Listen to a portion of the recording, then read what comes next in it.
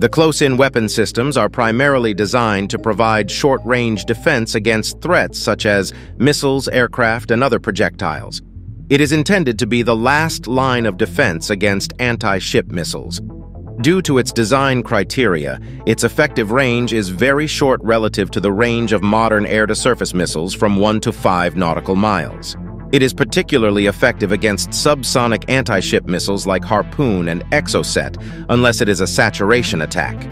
It is unlikely to be successful against hypersonic cruise missiles like the Russian Zircon, because the time required for the Phalanx fire control radar to receive, track, and fire, the approaching missile is very short, potentially less than seven seconds before impact.